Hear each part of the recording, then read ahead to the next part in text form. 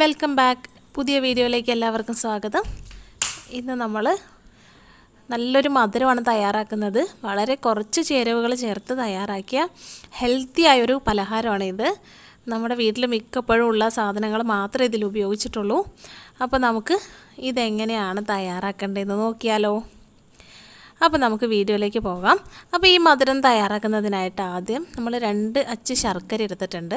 ഇതിലൊരു അര ഗ്ലാസ് വെള്ളം ഒഴിച്ചിട്ട് നന്നായിട്ടൊന്ന് അലിയിച്ച് മെൽറ്റ് ചെയ്തെടുക്കണം. ശേഷം നമുക്ക് ഇതിനെ മാറ്റി വെച്ചിട്ട് രണ്ട് നേന്ത്രപ്പഴം എടുക്കാം.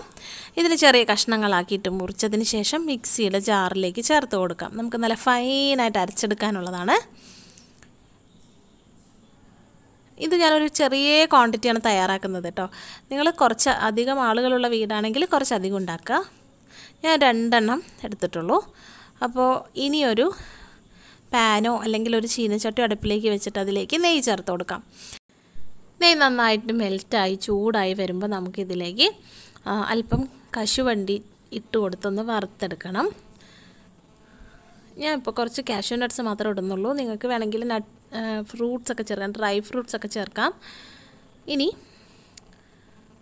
ഇതൊന്ന് റോസ്റ്റ് ചെയ്യുക നമ്മളിത് മാറ്റിയൊന്നും വെക്കുന്നില്ല. ഇതിനോടൊപ്പം തന്നെ നമ്മളിപ്പോൾ തയ്യാറാക്കി വെച്ചിരിക്കുന്ന ആ ബനാന പേസ്റ്റ് നമുക്ക് ഇതിലേക്ക് ഇട്ട് കൊടുക്കണം. കാഷ്യൂ നട്ട്സ് മാറ്റേണ്ട ആവശ്യമൊന്നുമില്ല.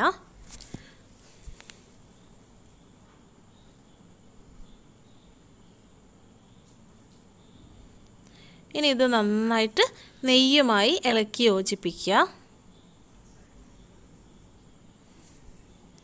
നെയ്യ് നന്നായിട്ട് ഇതിൽ പിടിച്ചു കഴിഞ്ഞാൽ നമുക്കിതിലേക്ക് ശർക്കര നീരൊഴിച്ചു കൊടുക്കാം. അത് റെക്കോർഡായില്ല ഒഴിക്കുന്നത്. ഇനി ഇത് നല്ലതുപോലെ ഇളക്കി യോജിപ്പിക്കണം. ഈ സമയത്തൊക്കെ ഒരു ലോ ഫ്ലെയിമിലാണ് തീ കത്തിക്കേണ്ടത്.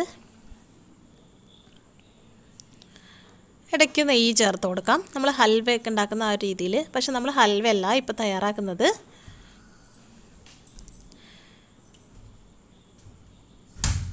അപ്പോൾ ഇതാ ഈ ഒരു രീതിയിലായിട്ടുണ്ട്. കണ്ടില്ലേ? അത് സ്റ്റിക്കിയായി വന്നിട്ടുണ്ട്. അതുപോലെ തന്നെ തിക്കായിട്ടും വന്നിട്ടുണ്ട്. ഈ ഒരു പരിപാകുമ്പോൾ നമുക്ക് ഫ്ലെയിം ഓഫ് ചെയ്തിട്ടിത് സെർവ് ചെയ്യാം. ഇത്രയായാലും ഫ്ലെയിം ഓഫ് ചെയ്തിട്ട് നമുക്ക് സെർവ് ചെയ്യാവുന്നതാണ്.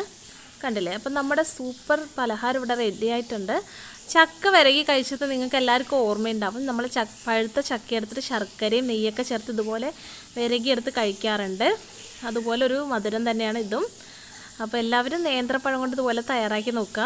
നമ്മൾ പഴം കൊണ്ട് പലതരത്തിലുള്ള വിഭവങ്ങൾ ഉണ്ടാക്കാറുണ്ട്. അപ്പോൾ നല്ല മധുരം ഇഷ്ടമുള്ളവർക്ക് ചിലപ്പോൾ കടും മധുരത്തിലൊക്കെ പലഹാരങ്ങൾ കഴിക്കാൻ ഇഷ്ടമുള്ളവർക്ക് ഇതുപോലെ തയ്യാറാക്കി കൊടുക്കുക.